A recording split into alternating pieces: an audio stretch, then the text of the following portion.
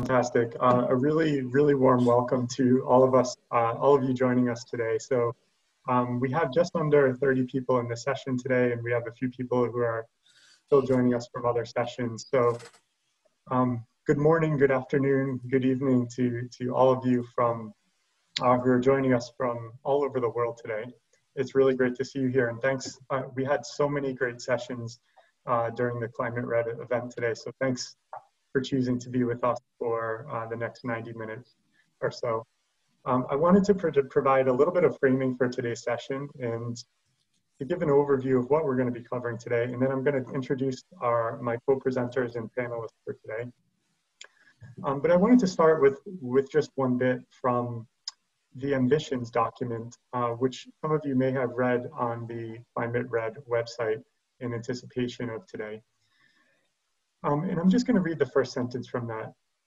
Climate change is a humanitarian emergency. Today, one weather or climate related disaster occurs every one to two days. And in 2018, there were an estimated 108 million people needing life saving assistance. To really understand the risks faced by each place um, and to begin to reduce those risks, we first need to understand each place. Where do people live? where is the key lifeline infrastructure? Where and what are the community assets? What are the risk factors? How do you actually capture all of this information? Is it through community volunteers, through satellites, drones, surveys? And now imagine the complexity of trying to capture all of this knowledge for just a single community um, and scale that up to think bigger for an entire country. And now imagine trying to capture it for the entire world. And this is what we're working on. This is the topic of today's session. Yes, we will talk a bit about satellites today, but we want to focus on the forum through which we're all collaborating to map the world. And that forum is called Missing Maps. The platform we use to do the mapping is called OpenStreetMap. Uh, for those of you who are not familiar with OpenStreetMap, when you think about OpenStreetMap, think for a minute about Wikipedia. Wikipedia has a vision in which every single human being can freely share in the sum of all knowledge. In our case, we focus on freely sharing in the sum of all knowledge about our physical world. And if we want to create such, such a world and such a reality, we need to make sure every person in our world can contribute their local knowledge to the map, just like you would contribute to a Wikipedia article. And this also includes making decisions on when not to be mapped, when not to add uh, a home or community to the map. excuse me. So the global OpenStreetMap community has done a lot of mapping. 250,000 people have contributed to humanitarian mapping in OpenStreetMap. And it covers a lot of the world right now. If you try locating some of the world's largest refugee settlements in Google Maps, for example, and then have a look in OpenStreetMap at those same places, you'll see what I mean. But we have a big challenge. We estimate that 1 billion people living in places facing high disaster risk, and those especially vulnerable to climate change are still not fully represented on the world's map. What are the implications of this? We are trying to understand climate's impact on our physical environment, but we don't have a complete picture of that environment. Entire neighborhoods, villages, and towns are represented only by a name or sometimes just the intersection of two major roads. Now, if you're sitting in New York or Geneva today, you probably couldn't imagine opening up your favorite map app on your smartphone and seeing a big blank gray area. Um, but this is the real, reality for much of the world's population. And it's, it's certainly not the world's biggest injustice, but it is an injustice nonetheless, and we, one that we believe is solvable. And by solving it, uh, will contribute to more effective climate action. So that's what we're here to talk about today.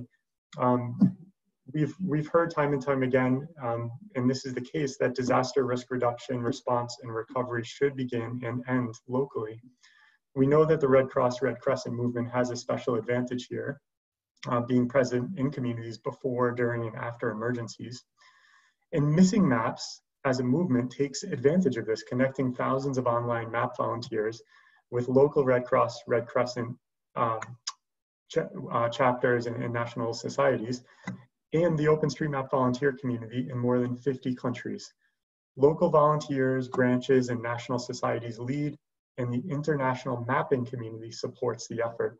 So this is a very concrete method, uh, looking going back to the ambitions document of uh, of achieving approach C, which is strengthening our expertise and volunteer base to reduce the impacts of the climate crisis.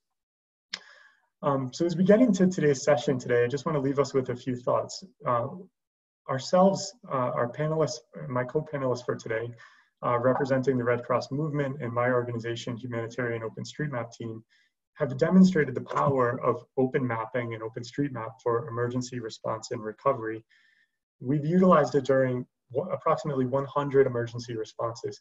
However, there's an enormous potential to do even more than response by mapping in advance of disaster. Uh, and by doing so, we can unlock the power of OpenStreetMap for climate change adaptation uh, long-term planning and anticipatory action. So today you'll hear from my colleagues, speakers across the spectrum representing uh, various parts of the movement um, and also my organization HOT.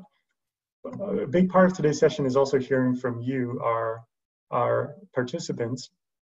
We want to hear your ideas and we need your ideas on how to extend this mapping movement to your country. Um, so let's now turn it over to our speakers and I'll, I'll introduce our speakers for today um, from left to right. And I'll ask them just a really brief question to introduce themselves. So first, um, from the Red Cross Red Crescent Climate Center, we have Catalina Jaime, who's a senior risk advisor. And Catalina is going to talk today a bit about the importance of mapping for climate action. So Catalina, to introduce yourself, tell us about your, your, in a sentence or two, what's your favorite map and why is it your favorite map? Yeah. Hey, Taylor. So I'm really delighted to be with all of you in this session. Um, and okay, my favorite map is a one that I have in my daughter's room. When she was born, I was desperate to have a really cool world map, but that was kind of like baby friendly kind of thing. So it's a beautiful map with all the different animals that represent different regions of the world. So that's my favorite map.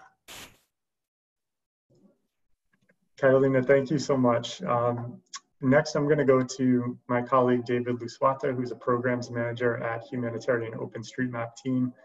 Uh, David's going to tell a little bit of his personal story of how he got into mapping and what we mean by the title of today's session, uh, that we're missing a billion people. So David, over to you. What's your favorite map and why? Thanks, Taylor, and uh, good to have all of you participants joining us today for this talk and this session. My favorite map actually is one that I studied um, in primary school, and this map was showing um, different countries in Africa uh, with physical features. And I really, really was interested in always seeing the River Nile flowing, flowing uh, on that map and cutting across the continent um, of Africa. David, thank you very much. Um, next, I'm going to go to uh, my colleague Elijah Kingori at IFRC, um, who serves as an information management officer. Uh, Elijah is going to talk a little bit later about some examples from the Red Cross movement around how maps um, and OpenStreetMap are being used. Elijah, over to you. Um, tell us about your favorite map. Uh, thank you, uh, uh, and I'm so excited to be here and uh, excited to see everyone. I think uh, my favorite map is uh, is uh, it's uh, one of my, one, one of the maps here in Kenya. I think it was the last map that I well I was sitting for my last exams here in uh, in high school, so I still have that map. So um, so they can see it from my last paper in uh, geography.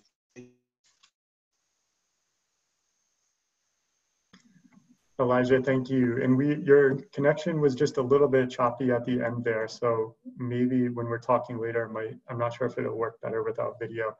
Um, but thanks, Elijah. And last but not least, I'll go to uh, Katharina Lorenz, who's a geoinformatics advisor at German Red Cross. So Katharina, over to you. Uh, tell us about your favorite map and why. Thanks, Tyler. I think that's quite a tough question. I'm a cartographer by trade, so I think it's very difficult for me to pick one map.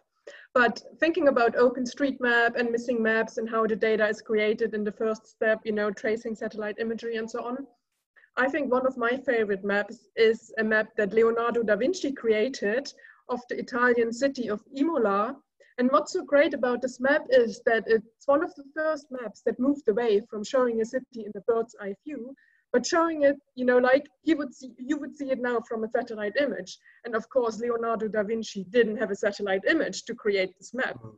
So it must have been really time consuming for him to go around, you know, and measure every angle, every length of every building to create such a detailed and, you know, rich, informative map. Hmm. Um, Katrina, thank you. And for all of us, I think it's a good uh, sort of history lesson and maybe something we can talk more about today around how things have changed uh, over the past few hundred years. Let's go to um, hearing from all of you. We want to know, we've introduced our panelists. We want to hear from each of you. And we're going to do just a little bit of a, um, a quick poll. Um, so let me, if, if I could, I'll share, try to share my screen. Apologies, we're, we're, we are getting there. Um, okay, we'd like All right, we'd like to start with this question, which best describes you? And what we want you to do is on your laptop or your phone, um, please go to menti.com and you can enter the code that appears on the top of the screen here and tell us a, a little bit about yourself.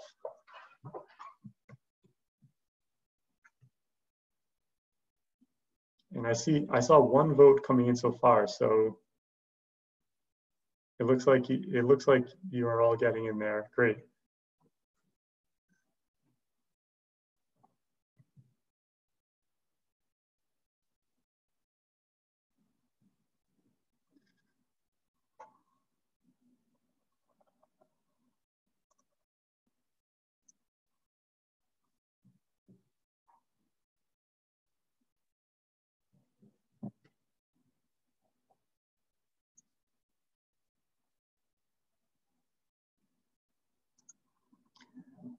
Yeah, and if you're still getting there, the code menti.com, the code is 42252.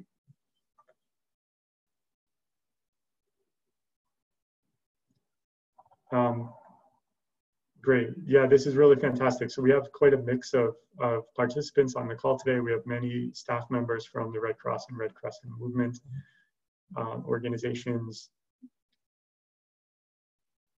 five Missing Maps volunteers, one Red Cross volunteer, six, uh, six of you coming from universities or students, and a few people coming from other NGOs or Red Cross, Red Crescent partners. Okay, we're gonna go to the next question. Where are you joining us from today? Same website, same code.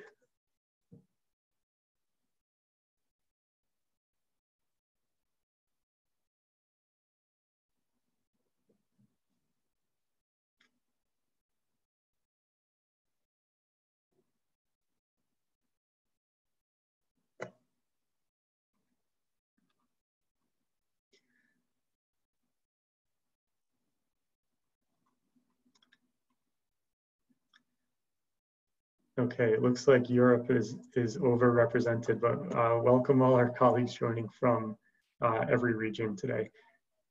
Let's, I'm gonna move to the next question.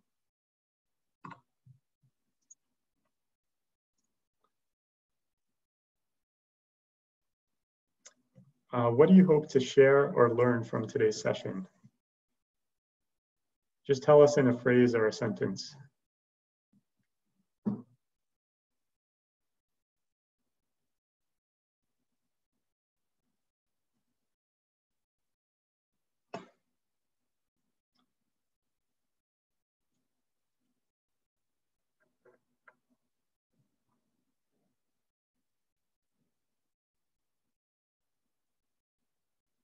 Okay, finding, finding the missing billion, the tech, best technologies to use, how mapping can help with climate action, importance of OpenStreetMap for climate action, know more about missing maps, great.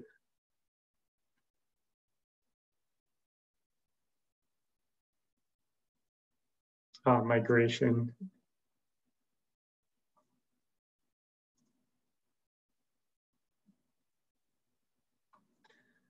Great, and I'd, I'd invite all my co-presenters today to, um, see if you can touch on some of these topics in your presentations today or when we have our discussion.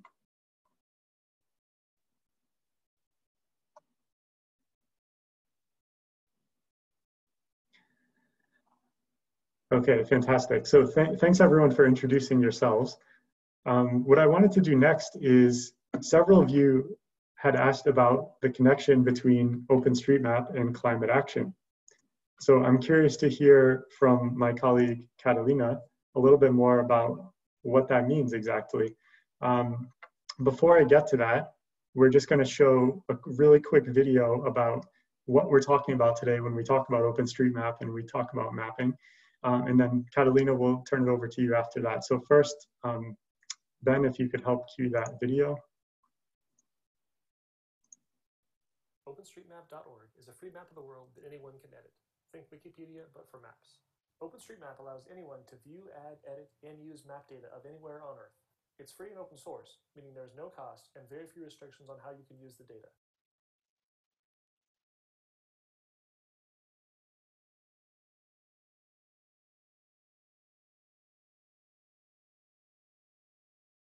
That makes it very popular with humanitarian organizations, community groups, local businesses, and governments alike. One of the great things about OpenStreetMap is that if something is missing from the map, you can add it. Geographic data is lacking for many parts of the world, and OpenStreetMap allows anyone to add to the map. Then everyone else can see and use that information. That can be very empowering. Local communities could add what's important to them to the map, since every place is different. Maybe it's schools or hospitals, bike trails or dog parks, roads or buildings, or any number of other things. And since OpenStreetMap is free and open source, anyone can use the map to make decisions, plan projects, and work in their communities. OpenStreetMap was started in the UK in 2004 when its founder, Steve Coast, had a hard time finding maps and geographic data he could use. It's grown to include millions of contributors from all over the world.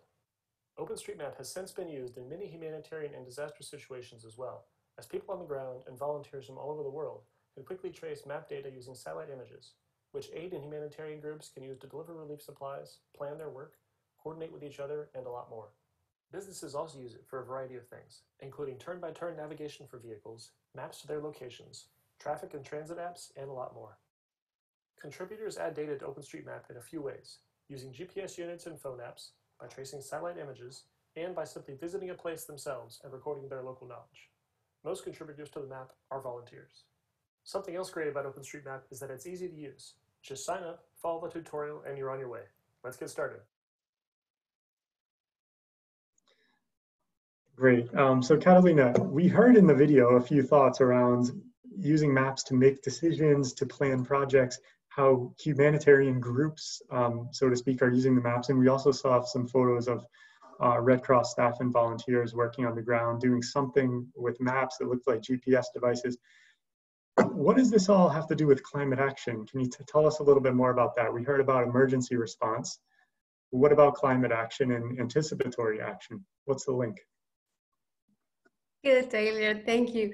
So, as you know, and many some of you uh, here, I'm, I'm a big believer of the power of OSM for climate action. No, like it's, it's clearly that we can go beyond what we're doing now. No, like we're very used at the moment to map for response. We do these amazing mapathons every time that we have an emergency and mobilize like volunteers all over the world and and there is so much potential to do that even in advance to actually to be able to contribute to long-term adaptation disaster risk reduction to, to really utilize the wealth of, of, of data that it could offer so in the in the red cross and red crescent movement and you might have heard in in some of the earlier sessions we have a, a very important document which is the, the ambitions of climate action for the movement. And there are four key elements on this,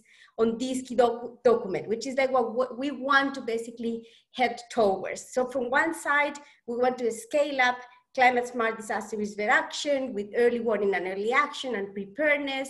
We want to also focus on reduce health impacts of climate change, address climate displacement, and, and also in the more long term, enable climate resilient livelihoods and sustainable water resource management. And with all that no like mega ambition you might think for a second but like what exactly can osm offer to do this? And the answer is actually is a lot. Like it's just huge. Like what what we could do as an as a as a OSM and missing maps community and like Red Cross community to contribute to this. Because ultimately what this type of data offers is an opportunity to understand risks, which is one of the big gaps that we have to be able really to develop plans to really know exactly how we can support like people that have different type of risks, really understanding at that granular level, no, at, at a very large scale, exactly who is likely to be impacted, who lives where, which are the houses that could be damaged, which are the water points that could be damaged, the crops, etc. It's basically a, a, massive opportunity that OSM kind of like offers. very concretely, no, like we, we think about climate action and, and what we could do. It's clear, the better the map and the larger the map and the granular the map for regions and cities and villages and so on, I mean, the better will be our capacity to plan. Like we will be able to have better climate change adaptation plans, no, like we can like really plan in more detail uh, the specific uh, adaptation activities to reduce those different uh, like type of risk. And in particular, one topic that is very close to my heart, which some of you might know, uh, if we look at the different time scales, no, we can do a lot of actions that are in the long term, but we can do also actions in the very short term based actually on weather forecast.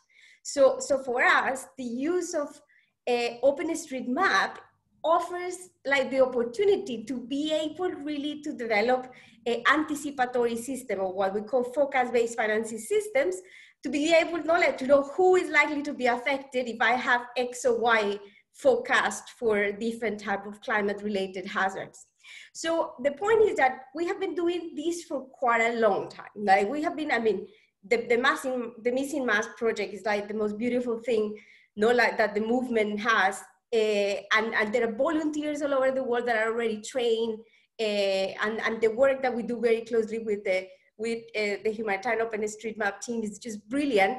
But we know that we're not yet at the scale that is needed. If we, still have like pockets of projects here and there, but if we want really to take up to scale that understanding of risk, we need to have a massive mapping effort to really be able to, to get to the point. So let's just, just the last message uh, that NOLA is like a dream that we have been discussing with like many of my colleagues. Uh, it's like, I mean, let's imagine a humanitarian system, no, let's say particularly in the Red Cross Red Crescent, it was like every single volunteer is trained in OSM, knows how to know, like, utilize the different tools.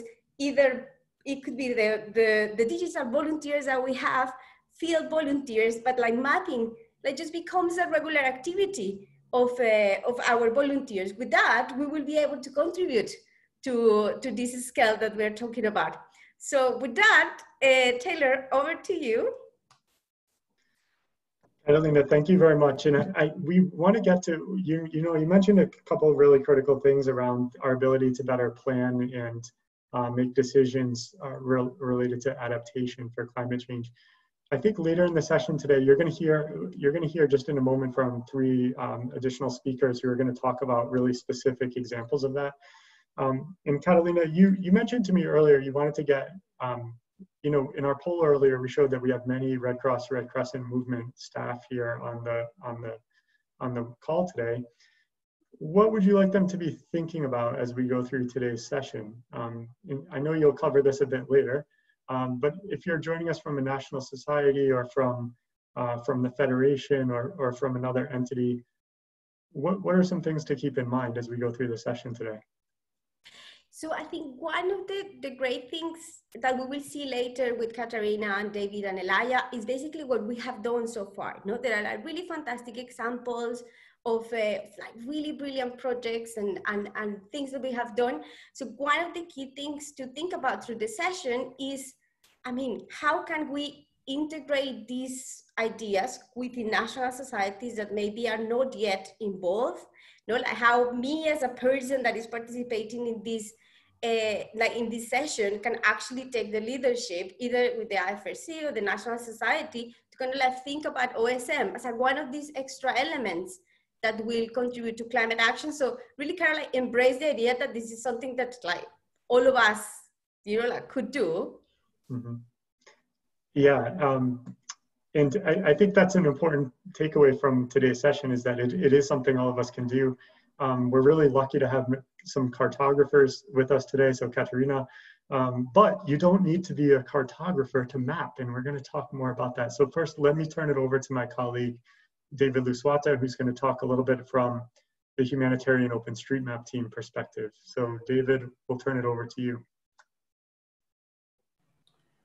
Thank you, Tyler. Perfect. So I'll go ahead and uh, share uh, my screen. I have a few slides that I, I want to talk through as uh, we go through uh, this, this session. And I just want to talk about the evolution of HOT and um, the recently um, the recent project that we've got at HOT, uh, that is the Audacious project, and what that means for humanitarian mapping and the different uh, stakeholders and partners that we have in the Missing Maps movement. So um, the story of HOT indeed uh, started 10 years ago, and it's uh, when there was that earthquake in, in Haiti. Um, much of the capital, uh, Port-au-Prince, was, was uh, destroyed in that earthquake, um, there was a need for humanitarian responders to you know, have information to use to uh, respond to this disaster that happened. And I think many of you um, participating here today could have heard about that earthquake. But that's just one story of so many um, disasters that are going on around the world. Um, what we took away from that is that that's when uh, these humanitarian responders uh, organizations came together and uh, because of the need that was really existent at the time of updated information, information that can be used to actually respond to these disasters, the humanitarian OpenStreetMap team was um, created. And uh, this very year, we, we celebrated uh, 10 years of existence um, which is a story of all of um, the very many community members that have been participating and um, contributing to the map, creating data that is actually very helpful for humanitarian um, agencies that are responding. And since then, it's been working with the uh, OpenStreetMap platform, which is a platform we continue to populate to add data to. It is actually a very um, useful tool that many humanitarian agencies are finding very relevant to their work. Government agencies are actually turning to that uh, um, platform, um, the academia, and several other use cases. And at HOT, we've continued to um, design many of our programs and projects around uh, enriching this map that it will be actually helpful for very many humanitarian responders. And all of you, all of us can actually sign up very quickly um, and start adding, uh, adding data to, to this very map. In the process, uh, 10 years and going now, um, the humanitarian OpenStreetMap team has been using OpenStreetMap to primarily respond to disasters or create information that is used to respond to disasters. Um, talk of flooding, like you, you can see, this is a photo we took in um, Monrovia, Liberia. Uh, in this particular community, Doe community, you could you can see that actually that road is the boundary between this community down at the river edge and then the other community. But most of this community is, is flooded. Um, the mapping work we're doing there was to work with local communities themselves, uh, the local residents of this area to map and uh, add this data on the map uh, at the, the location of buildings um, and other services that are actually present in this area. This information is then used by several um, government agencies, particularly to bring more services to these areas, but also um, it can be used for economic development. And some of the projects that we've worked on indeed have been to support economic development. Uh, that is more of a use case with the government agencies and uh, some uh, development partners that uh, do carry on several pro projects or programs in different parts of the world. But this is not the only story. We've been um, working on several other projects and programs, and much of our work really has been um, building, and it's really building around the OpenStreetMap platform that one um, programs like malaria elimination can use the data that we create, um, working with different volunteers and, and staff um, to create this data in OpenStreetMap. So we've had um, several projects in, in uh, relation to malaria elimination um, in, in the Caribbean, in, in Southern Africa, and all of these projects have actually um, contributed to the fight against uh, malaria. And many of these countries, many of the countries indeed, uh, working to uh, bring malaria to an end in their countries. Um, the other projects have been around uh, flooding, and this has been uh, with when we talk about climate change. This is a big topic. Flooding. Um, many of the locations we've worked in in Kampala, the story is almost the same. People want this to end, and uh, this can only end if we take action as um, the you know citizens of, of, of Mother Earth. So uh, these projects that we're working on um, have built capacity of local communities, uh, students, um, uh, national partners to put many of these uh, locations on the map. And it's the same story with disaster resilience uh, in Indonesia or the Philippines. All of this is to help local agencies and the local communities to work together and uh, put their communities on the map creating data that can be used for responding to disasters when they occur. This indeed has been our story going uh, forward, spanning the last uh, um, 10 years. Uh, and last year, our community came together and developed a strategic plan. And in that plan, we really wanted to see that everyone is counted and that map data is accessible and can be used to make decisions that save and improve lives everywhere.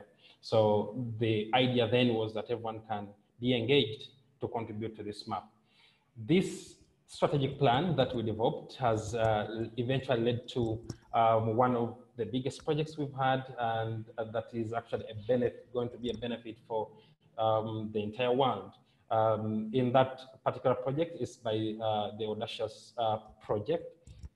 Uh, we do want to um, map an area home to 1 billion people not just as as humanitarian uh, as the humanitarian um, OpenStreetMap team, but working with as many uh, stakeholders and partners that we can work with to put this 1 billion people on the map across 94 countries.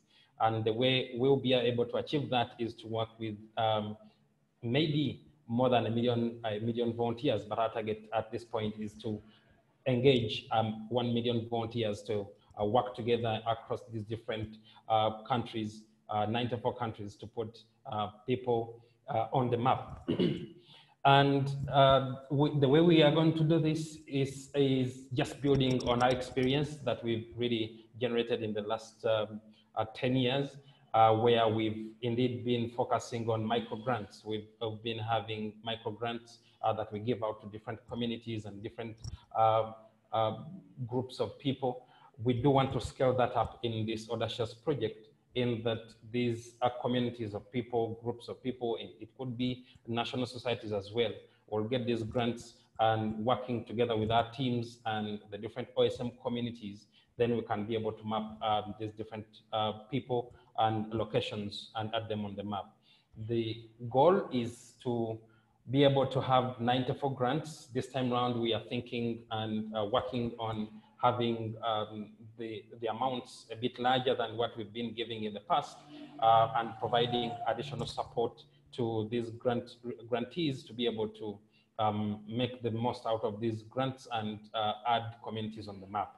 Um, in that, we will be actually setting up regional hubs around the world, and um, this is what we'll be looking at, setting up four regional hubs, one in East Africa, in West Africa, um, in the Latin America and the Caribbean, and then uh, in Asia Pacific. All of these regional hubs will be working with local communities and, and, and staff of, of HOT to put people on the map across these 94 countries.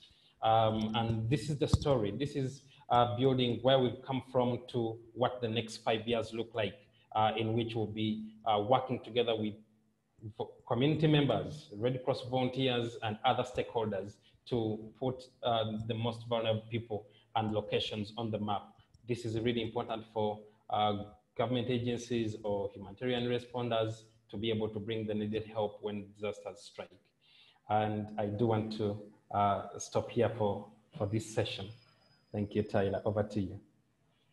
David, thank you very much for your presentation. I think one of the really important points you touched on is that um, this is not about humanitarian or OpenStreetMap team or any one organization. This is really about um, needing to wor all work together through through a consortia, which we call Missing Maps, and through uh, engaging 1 million volunteers. And we really need help from everyone who's joined us today to be able to do that, to be able to achieve these big objectives. Um, and so next we're gonna go to Elijah Kingori. So Elijah, um, his, Elijah's organization, so Elijah works for the Federation and IFRC is a, is a member of Missing Maps. Um, and in his role serves as coordinator for Missing Maps uh, for on behalf of the, the Red Cross Red Crescent movement. So Elijah, we're going to go to you next and tell us a little bit about some of the specific uh, examples you've seen in, in missing maps being used throughout the, the movement. Over to you, Elijah. Uh, thank you, Taylor. Uh, let me just share my screen.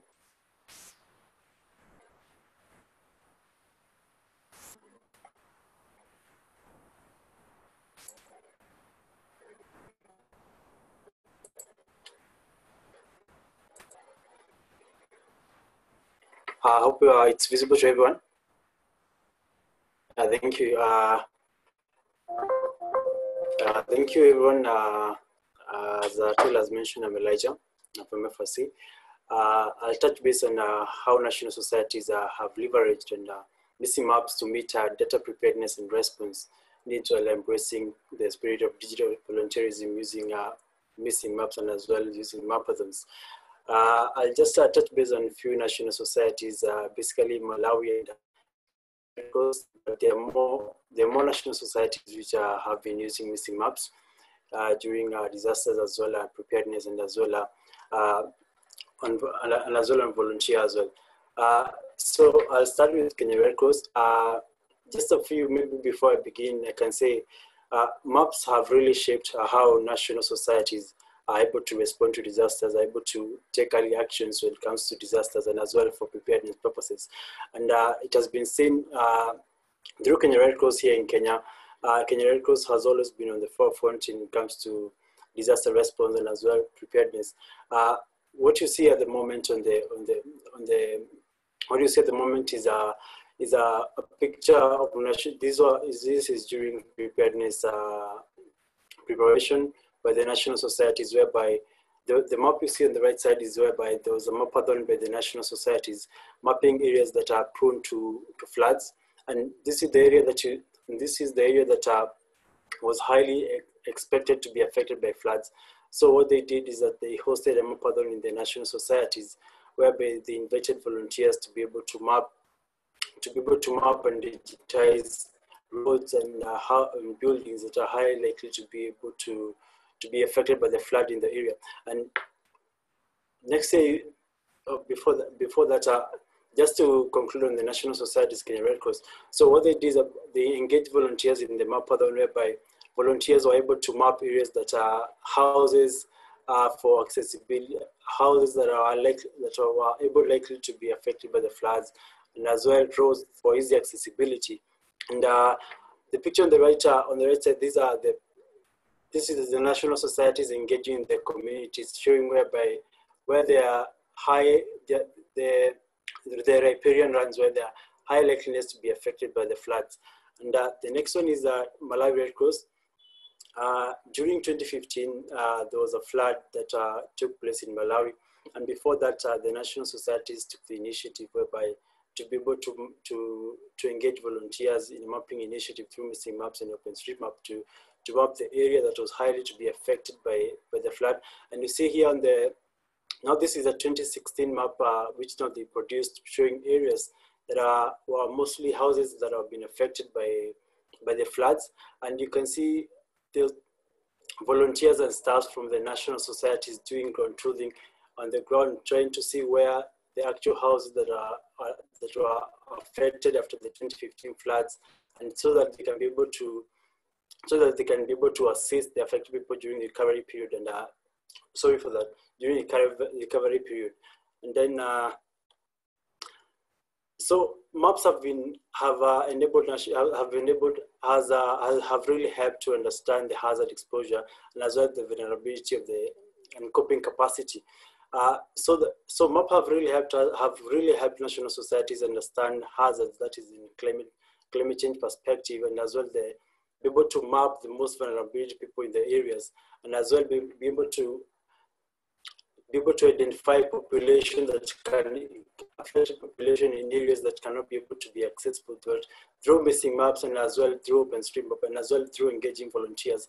Uh, lastly, I'd like to lastly I'd like to touch basing on embracing embracing digital volunteerism using missing map, using missing using mapping. This is where national society has, has taken initiatives by engaging volunteers using using mapathons and uh, ground truthing processes. Is uh, another way of, of, of, national societies engaging volunteers in national societies, not only for data, but as well building their capacities in, in mapping, but uh, and as well building the capacity of national societies. And uh, this has really empowered national societies to deliver, to deliver localized quality programs and services with, with volunteers and in collaboration with local partners. Uh, Lastly, in conclusion, I'll, uh, I'll uh, finish by this quote. Maps have, really, have codified the miracle of existence and it's evidence. Map, that, map, do, map, map, map only communicate by just saying. And with a map, a map says a lot without even saying a word. Thank you. Back to you, Taylor.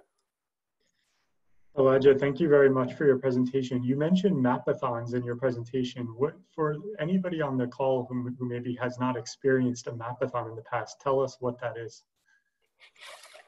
Uh, thank you, Taylor, for that. A mapathon, it's a, it's a, I can say it's a, it's a, it's more like a party whereby no one, you don't have to be a mapper, you don't have to be an expert in mapping, but all you come together is, you, it's more like a, a mapping party where people come together to be able to map areas that are using OpenStreetMap.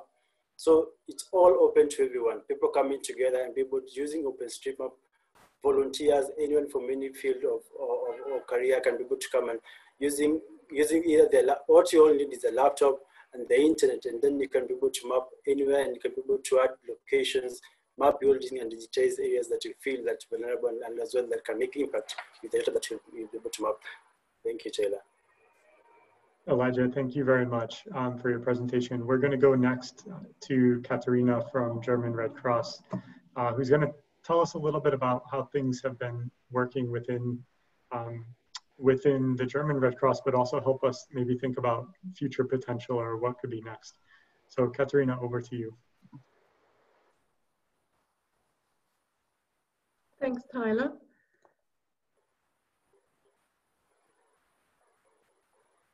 Right, so we've heard from our previous speakers already how important geospatial information is and what, what a really important role it plays in the humanitarian system, be it for decision making, coordination, communication, etc. And we've already heard that missing maps can be one of the tools that helps us close the gaps if there is a lack in geospatial data. German Red Cross is one of the newer members of the Missing Maps membership and I just would like to talk a bit about GRC's approach to volunteer engagement. Um, in order to do this, I would like to recap on the different steps that we have in the Missing Maps campaign. In the first step, we've got remote volunteers that come together and they use satellite or aerial imagery to trace objects into OpenStreetMap. In the second step, we've got the community volunteers then in country using this base map produced in step one and adding context specific information to this base map, be it road names, um, building usage like hospitals, schools. And then in the third step, all this data, as it is an OpenStreetMap, is made available for everyone to use. As you can see from step one and step two, um, volunteers are a very crucial factor in the success of a Missing Maps project. Um, and Missing Maps offers a number of opportunities in motivating volunteers to join national societies. And the Red Cross and Red Crescent movement is a volunteer-based organization which relies heavily on the global network of volunteers. Um, the movement has always offered various training programs for, you know, first aid, search and rescue, and yeah, other training programs respective to the different national societies. But I think we all need to be aware of that um, these trainings might decrease in their attractiveness, especially when it comes to young people or urban areas and so on, and that digital tools can play here an important part to increase this attractiveness um, for new, yeah, to attract new volunteers to the movement. Um, I now would like to talk more about step one, basically the creation of the base map and how we are rolling this out here at the German Red Cross.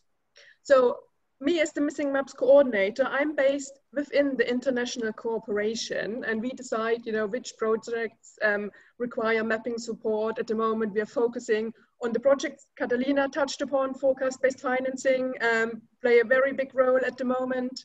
Um, and the projects that we are mapping there um, rely heavily on missing maps.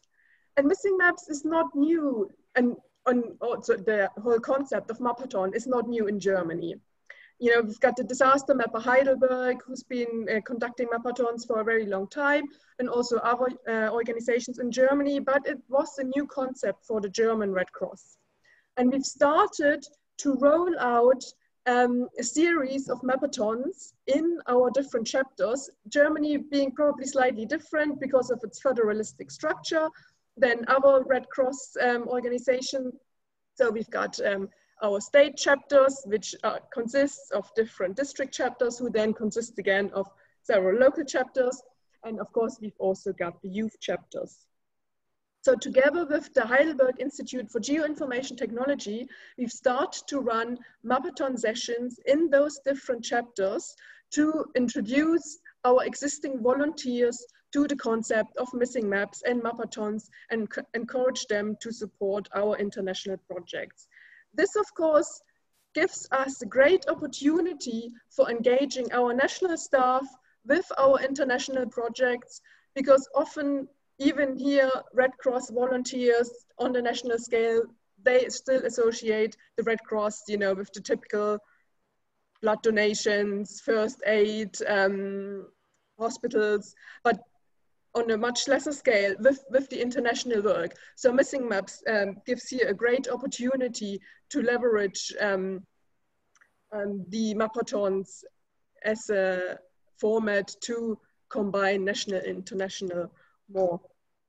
Um, and of course, missing maps can also be used as a tool to attract more volunteers. Um, volunteers in general are, yeah, at the moment less likely or, or yeah, over the time, not that committed to, you know, dedicating a certain amount of time every week, every month, but through missing maps and the mappathons, um, this can be done on a more on an ad hoc basis. You know, people say, okay, I just want to contribute for an evening here or an evening there. And, you know, this is possible. And then obviously this, you know, can then turn into, you know, those Mappathon volunteers becoming Red Cross volunteers. Um, but one thing that should be bear in mind that um, some of those volunteers might not want to be um, you know, integrated into a, into a yeah, local chapter. So we've um, planning on also creating like a digital chapter where those volunteers can come together and support our Red Cross um, missing maps projects, you know, on a digital level. And of course, this has gained now even more traction with COVID. Our mapathons are now digitally anyway. Um, and so we are really pushing in this direction that, um, yeah, to give people an opportunity to support our projects, you know, whatever time they've got available. Yeah, that's from my side. Great. Katharina, thank you very much. That was really clear and um, I, I, think is really illustrative of some of the potential um, that Missing Maps has in terms of engaging volunteers uh, within the National Society. Um, and I really love the idea of the, di the digital chapter. I think that's a, a, new one. And I'm curious to hear everybody's uh, sort of thoughts on your, not only your presentation, but all of our presenters. We have about, um, well, we have a few minutes to take questions and answers. So we want to hear what are you guys excited about? Um, what questions do you have after listening to the presentations? And just go ahead and type your questions into the Zoom chat and I will hand those off to some of my colleagues to answer. Um, so you can go ahead and do that now. Ben, are there any specific instructions other than type in your questions? Uh, no, no any additional instructions beyond that. Yeah, just you can go ahead and I believe you you have the option to select um, everyone when you're asking your questions.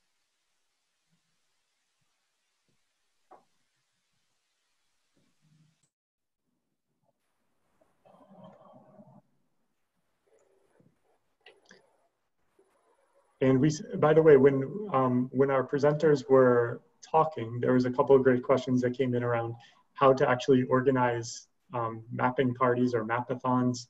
And there's some information now in the chat window about how to do that. There's a, if you go to the missingmaps.org website, there's lots of information there around um, how you can host a mapathon um, and you can be an individual volunteer or staff member at um, working with their Red Cross, Red Crescent organization.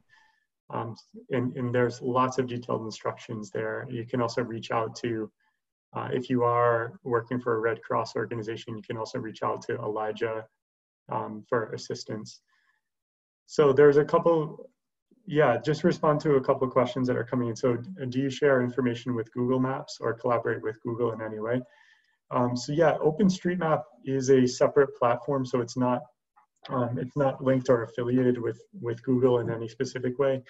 Uh, but Google has supported disaster mapping efforts in the past in OpenStreetMap through providing satellite imagery or providing some of their crisis um, coordination tools. Uh, but the, the data in OpenStreetMap is separate from the data in Google Maps. Uh, one thing I can say is that many other map providers are working on ways to integrate data from OpenStreetMap into their map products. So uh, if you look at, for example, Apple Maps, one of the data sources mentioned is OpenStreetMap data. So it really depends on which map provider you're, you're using. Um, yeah, we're happy to take other questions either from myself or any of our presenters today.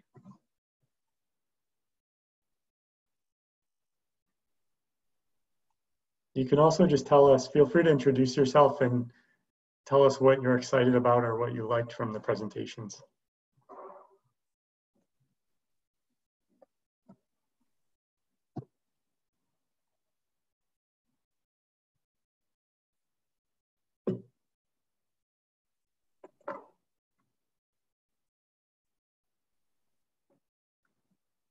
And we'll just give it another minute or two um, if you guys are still typing.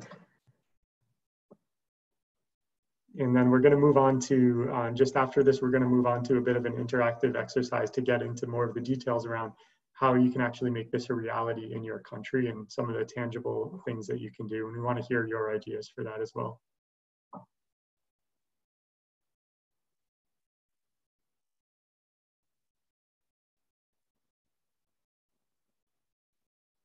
Um, great. So there's another question that came in around funding. Um, I can I can mention this, but if any of my colleagues would like to make a comment on that, please do as well.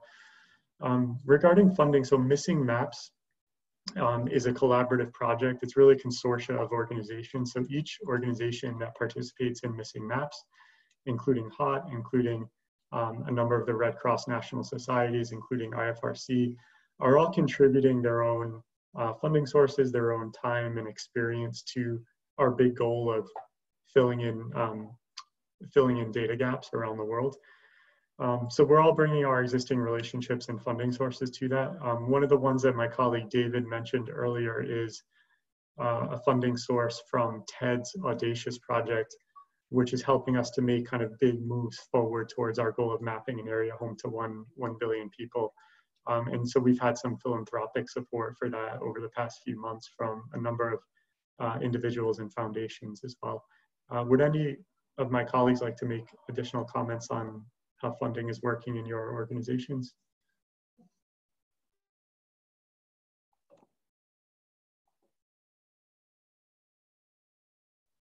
Katharina, would you like to go ahead? Or Yes, sure. Um, so, I mean, we are very lucky. Um, our Missing Maps work is funded through a foundation that also funds the HeiGIT Institute for Geoinformation Technology, uh, Heidelberg Institute for Geoinformation Technology. Um, and yeah, that covers my role for three years, and then we'll see how the financing goes. Um, but as, as a Missing Maps members, or as a Missing Maps member, you then also um, have the opportunity or the possibility to conduct corporate mapathons through which you know you can potentially finance your work. Katharina or Elijah, there was a few other questions coming in. Would you guys like to address it, either of those?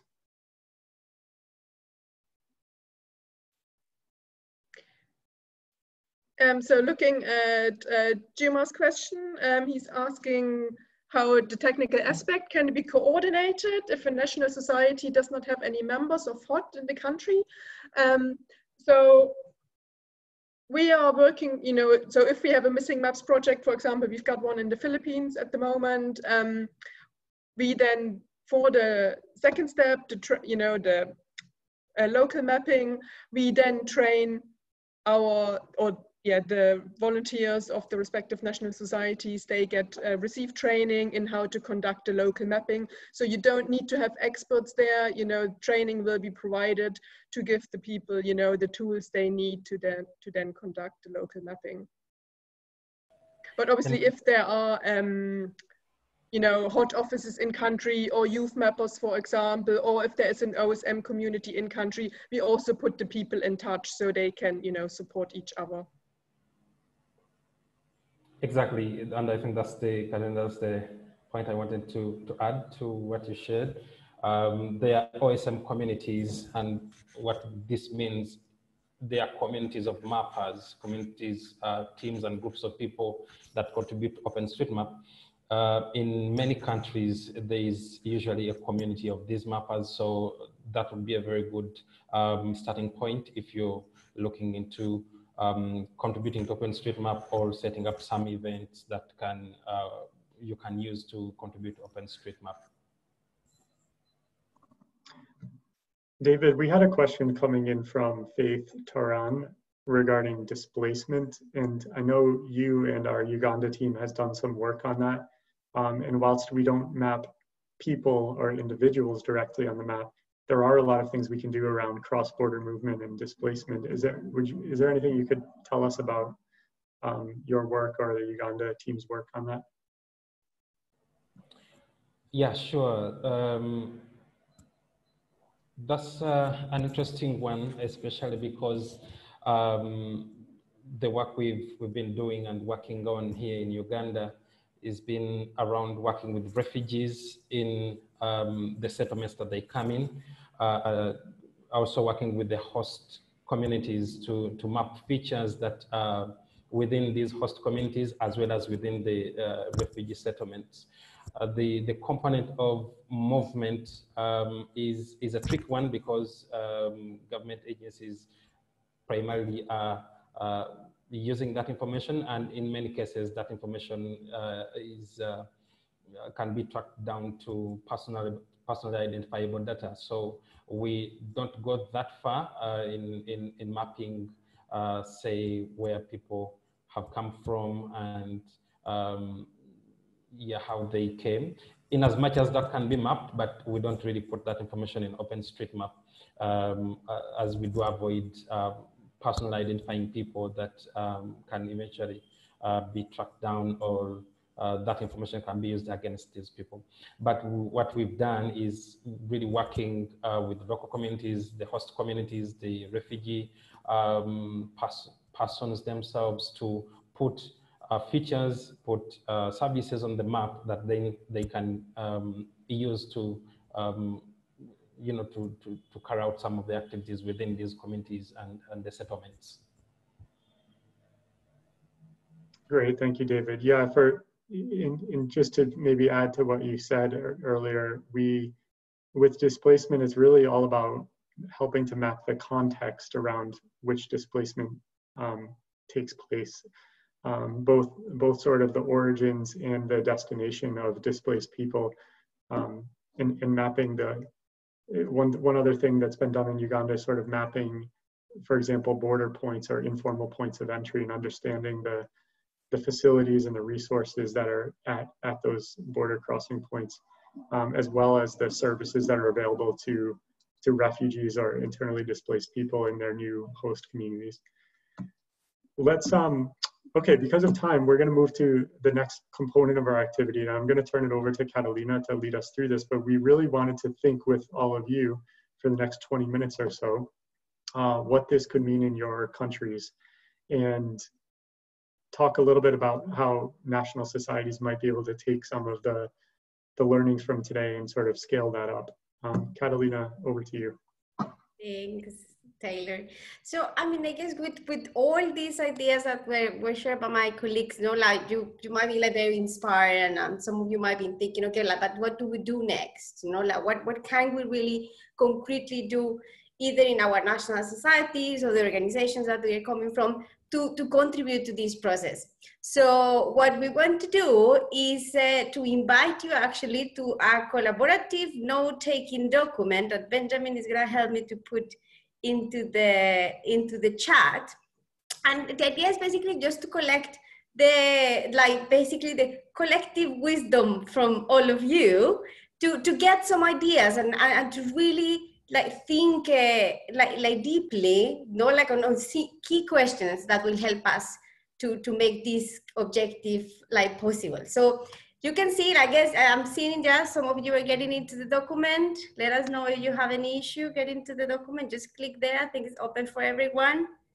Just get into that. So this is going to be a a very quick brainstorming from all of you in a google doc so one of the first questions that that we want to pose to all of you is is basically how do you see, you know, like like the involvement of your national society or your organization, if you work with the IFRC or with the ICRC or with an NGO, no, like I mean, how how do you think to be able to achieve this goal of map the regions and the places that are not mapped what your organization you know like could do. So write there all your you know like anything that comes to your mind that that you think you know like will be like like kind of like feasible realistic from your from your point of view. So feel free to write anything. If you have like a concrete idea something very specific uh, and you will be happy to actually for us to contact you, particularly HOT team or the missing maps team, just write down then uh, actually the,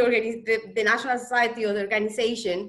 Uh, and then, and then, yeah, I think we will be very happy to follow up uh, with you to see, you know, like what, what could be done. And I think this builds a little bit on like, no, like what, for instance, Katharina shared, no, this idea of the potential digital branches, know the idea of like what uh, Elijah shared about know like mapping for preparedness, training volunteers in advance, uh, and also particularly in the framework of the of the audacious project. No, like this that the audacious project, I think Tyler is an absolutely brilliant opportunity. No, like to really get together to support 94 countries to be mapped and and i think what we really want out of this session is to kind of like think okay where i mean where where this can happen what are the potential cooperations that we could uh, that we could do So yeah, so we have a first first idea coming from the Swedish Red Cross. So it's great that you have been considering, uh, no, like getting involved. So that sounds really good. And for the rest of you, don't be shy. Like just write anything that that you think will be will be crucial. We have other questions in the meantime. If you feel like to contribute to their questions, like go ahead with that. So this is a, the second question is a really critical one. So we said, no, like that basically being an, like a mapper could be a really great volunteer activity for a particularly for a, for a Red Cross and Red Crescent volunteer. But then what shall we do as a, as a movement, as a humanitarian organization to actually get volunteers excited about it? Like what are exactly all these different like concrete strategies? And, and let's look at it from different perspectives because we can have like like very high level policy the kind of like actions that let's say board members like that the national society itself like could do to really kind of like embed these within the strategies or it could be not like other type of strategies that that you think about that could be more kind of like detailed no like how how to get the people excited. So we can see like there are some great ideas coming up uh, providing like badges and certificates uh, so this is really great great to see maybe introduce in schools as as youth so this is a very interesting point, for example. So within the climate uh, ambitions work that we are doing, we are really working quite a lot on what we call youth adapt. And, uh, and actually we are embedding OpenStreetMap as a, one of those potential activities that volunteers can see as an adaptation kind of activity that they could do. So definitely this idea of, of embed and, and, and really uh, take as an entry point uh, all the youth work that we are doing on adaptation is, is just like absolutely brilliant. Great to see. Excellent. Um, the third question for the ones who would like to start to look into the third question, it's about a scale. So we have seen from most of the projects that were presented uh, that we often work on particular, let's say, particular villages or particular regions, uh, but we, we don't see the entire countries map or entire risk like areas mapped. So this question is like, how do we take this out to scale? What do we need to, for instance, like take advantage of of, uh, of, of this beautiful opportunity of the audacious like project and missing maps but to really think big like to really think on like how do we make sure that we have many volunteers trained digital field volunteers? So so think big about the kind of you know like activities. It's like one of the things that comes to my mind is the whole kind of like public and private partnerships into the into the process at a national level so yeah, so great. So I, we can see that there are so many ideas coming up. I'm pretty sure Tyler is very happy to see all this coming up because this is going to be very useful for the for the brainstorming for the audacious project and, and also for the missing my friends that are in the here in the chat. So this is great. Is there and any also, Tyler, any particular idea that are coming up that you like? To follow up? Um, no, I, am just loving seeing the comments from colleagues at Swedish Red Cross and PMI um, regarding some of the initial ideas. And, and uh, we re also recognize many of you on the call today are deeply, deeply involved with mapping already. So thank you, including PMI in Indonesia. Um, so we, we appreciate all the contributions to date and, and thank you for, for mentioning those. Um, I would like to also invite, at the beginning of the call, we, we heard that um, some colleagues that joined us today are working for Red Cross partners or maybe for NGOs outside of the movement. We would like to hear from you as well. Like, what are you, what are you seeing in your organizations and do you see any potential from what you heard about today to scale this within your organizations or do you have additional questions for us?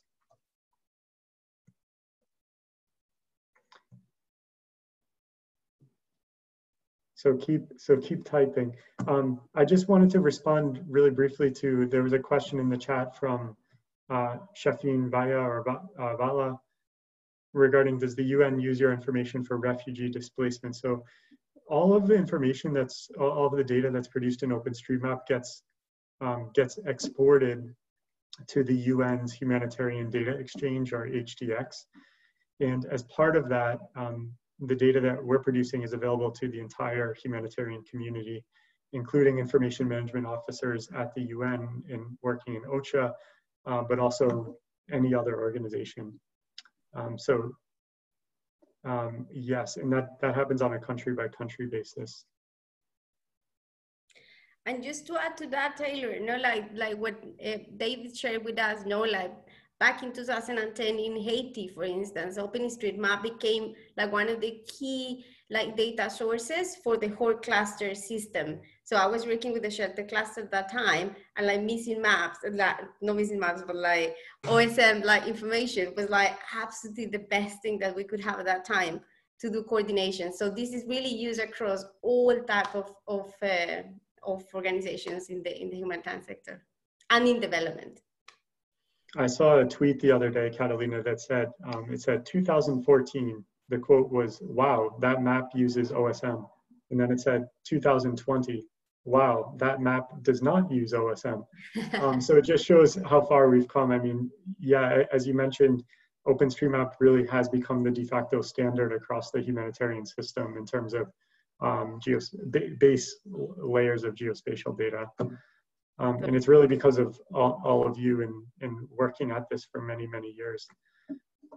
Um, and, and adding to that, Tyler, which is fascinating, is that it is actually embraced by governments totally. You know, like the government of Indonesia or the Philippines, for instance, have totally embraced OSM as part, not as one of the elements of their disaster risk reduction and management uh, kind of like data sources. And that's like, that shows basically how powerful yeah, it is.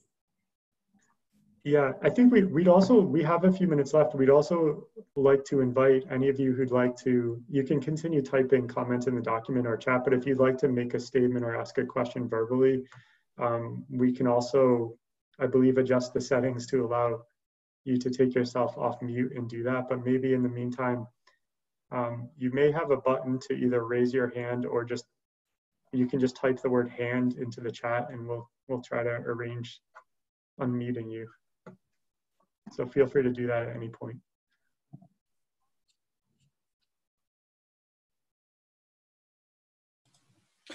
Please make a note in chat if you would like to come off mute.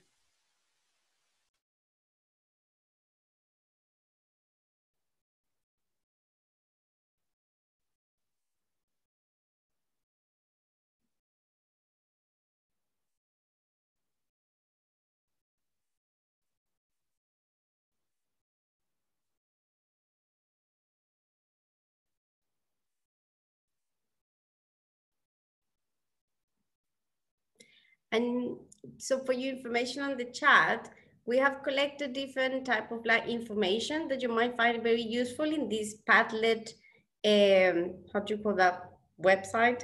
Um, where you have like a lot of the videos and, and, and the, the different things that we have presented in the session today.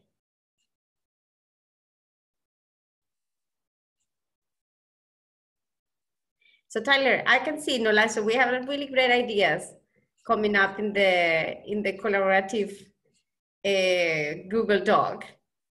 That I think that will be very very useful. So yeah, you can continue typing them out. Definitely. Yeah, there was a couple of comments made around youth engagement, and just to highlight um, for those of you on the call today, there is a global network of university students, uh, university student clubs who, um, who are made up of students interested in contributing to humanitarian mapping efforts, and that's called Youth Mappers. So you can also check out their the website at youthmappers.org. And if your organization has youth engagement programs, this is a great way to tap into a network that's already there, and they would love. Um, it, it's made up of really enthusiastic young people and university students who want to contribute to humanitarian action and climate adaptation uh, climate action. So the network's already there. Um, they just want to hear from you in terms of how they can be useful. So check it out, youthmappers.org.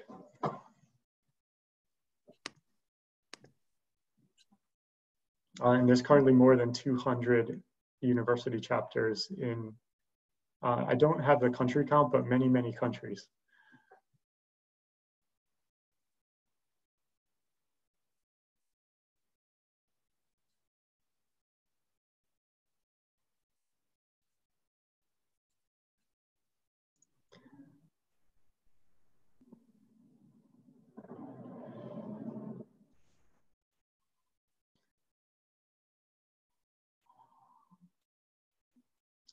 Catalina, are there any other comments coming in or ideas in the?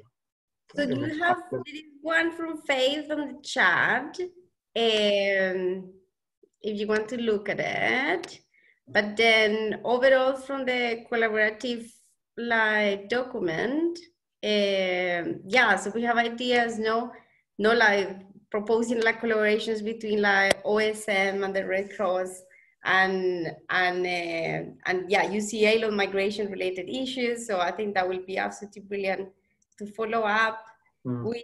There is an idea of having a buddy buddy system, uh, so which is not like linking someone from uh, Malawi and, and, and Germany, for example, uh, which I guess not like Katharina. This is one of the ideas that German Red Cross was also like considering, no, kind of like how how not like to do kind of like this like peer-peer uh, no like system between like branches in different countries. Sorry we're still on mood. Um, yes exactly. I mean this is also one of the options also to you know increase the exchange between national and international and especially involve the people in the country we are working with you know and and so the national volunteers can you know get a real feel for what what is it actually why they are doing what they're doing you know? Brilliant. Yeah i think that would be like super super powerful. Um there was this there is this idea which i think is also very interesting about you know like having like focus weeks or more months in which you know like volunteers can like really kind of like concentrate on mapping a specific uh, no like regions or cities, no like which is somehow no like what what Missing Maps project uh, already does. No, they do have a task list of like different key places that should be um, like mapped like in, according to priorities and then kind of like concentrate on those specific uh, areas. Um, one of the key issues, no, is that a lot of that mapping have happens, eh, as Katharina was mentioning, like through the digital volunteers, no? But one of the key important things is the second step. Like, how do we make sure that we have also the on the ground volunteers, which are the ones who are gonna kind of like give more granularity to the data that is there because with that data like the power of the data is that it can give some sense of like uh, of, of extra risks no like which materials the houses are made of what is the condition of like water points know, like which that could only really happen know, like when, when you have like actually direct observation. So so i think know, like that that's definitely one of the key areas to continue working on. So tyler i think that's for the moment. We have some like yeah great ideas coming up there. So i think over to you. We're i guess yeah almost seven yeah. minutes. Yeah, indeed. Um, thanks to everyone who contributed their ideas. And if you have something that's coming to mind in the last few minutes, just please add it to the document, even if it's a question or just your contact info if you want to um, if you want to join the, our mailing list and just um, sort of keep up to date. So thank you very much. We'll bring our session to a close, but I, before we do that, I want to ask for maybe a final comment from each of our speakers today. Um, and I, I would like you all each to think about if you had sort of one message that you want to leave with the audience or one one takeaway or um, just a just a final comment in about a minute or so each what would that be? What's the action you'd like to inspire today? Um, and david i'll go to you first. Thank you tyler. Um, i think this next decade is going to be very very important in in many ways, and we've just had um, the first year being unique. Um, at the end of the decade, we are looking at the Sustainable Development Goals um, set to 20, uh, 2030. Um, but in between there, the Audacious project, and that's what I would like to point everyone to. Um, this is a unique effort, I think, that is going to help us to get um, many of these locations that are not yet on the map, uh, to have them on the map. And I'm going to share a link here that you can um, just check out uh, more about the Audacious project on the HOT website, um, and let's map the world together. Thank you, David. Great closing comment there. Elijah, over to you. What would you like participants to take away from the session today? Thank you, Tyler. Uh, mine will be just to encourage everyone to be a mapper. Uh, it's a, it's a, it's it's at as easy as as, as said. Just so you just need the laptop, and you can be an open strip champion. Thank you. Thank you, Elijah. Katharina. Yeah, I think I follow on exactly what Elijah has said because I know from you know our volunteers at the beginning they find it a bit daunting. You know, they've never worked with satellite images and now they are you know asked to map. You know, but then once they make a start, you know, they see how much fun it is and you know just all have a stab at it and it's actually very easy, and everyone can do it. You heard it from a cartographer, so thank you, Katharina. Uh, Catalina, Good. So the, my key message is directed to the fact that we have the examples of how powerful it is. Uh, but to take this up to scale, we really need senior leadership. We need secretary generals. We need like the board members. We need like people to really understand the importance that this represents for for the Red Cross and Red Crescent movement. And I think no, like a lot of the people that is here in this chat, know, like you can definitely become those ambassadors depending on where you're working, know, like to make sure that we can make changes at that policy level that is necessary, but then at, at operational and practical level. And, and that basically with the key message that at the end, this is really a contribution to climate action. And it's a really kind of like fantastic contribution to it. I'm sharing on the chat here the Red Cross and Red Crescent movement climate ambitions. So you can have good material there to support this. Great, thank you, Catalina, um, and thank you for sharing that notepad as well with uh, lots of lots of great links there. Um, great, so with that, we'll close our session for today. I'd like to thank all of you for joining, especially my colleagues from um, Missing Maps Consortia organizations and also from uh, also HOT members. Um, but thank you to each of you. Thank you for your ideas and comments, and we really look forward to working together uh, in the future. So I hope you enjoy the rest of your day, night, uh, or mornings. Thanks. Take care, everyone. Thanks to you, Tyler, and the rest of the whole team. Bye, everyone. Bye, everyone. Thank you, and take care. Bye. Thank ah, you so much. One more, we forgot one more very important thing, Tyler. We have a follow-up session later on like really important to go into the details of a lot of examples about missing maps. So it's gonna be a little bit late, but maybe good for the people in the Americas and in Asia Pacific. So Elijah is gonna take us through later on all the wealth of examples of the work that we are doing. Uh, thanks, Catalina. If you're looking for that session, it's taking place at 4.30 p.m. New York time or 22.30 Geneva time. Uh, so if you're in if you're in Europe, Africa, or Asia, um, it's for your for you night owls. If you're in the U.S., it's probably a, a, better time. It's called Community Mapping to Enhance Disaster Preparedness and Response. So take a look for that in the agenda, session number 209. Uh, thank you, everyone, and hope you have a great rest of the day or evening. Take care. Thank you. Thank you. Thank you so much.